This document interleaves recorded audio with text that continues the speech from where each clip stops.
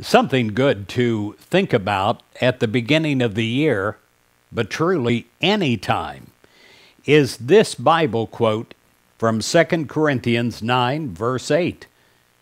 It says, And God is able, boy, there's a powerful term, is able to provide you with every blessing. And how? How is God able?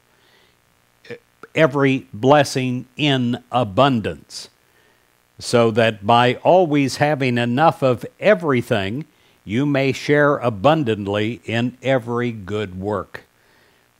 How often do we find ourselves looking forward to a paycheck as if it is the very source of our prosperity?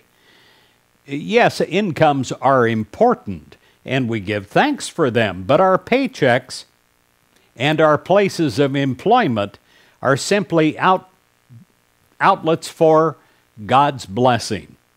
The source is God. God is the source of blessings that come through many different channels. So, whether we define prosperity as more money, healthy relationships, or even peace of mind, let's give thanks to God as the originator and creator of it all. And then we're always open to new and creative ways of blessing that can and will come to us. We know that God is the source of all blessings and we are abundantly blessed.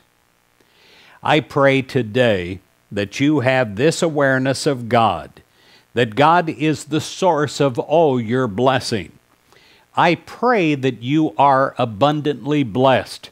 I pray that the abundance is not just in a regular way, but in a way that is magnified by the touch of God. I pray that your whole life in 2018 takes on the power of God blessing and God abundance. In Jesus Christ's name we pray. Amen.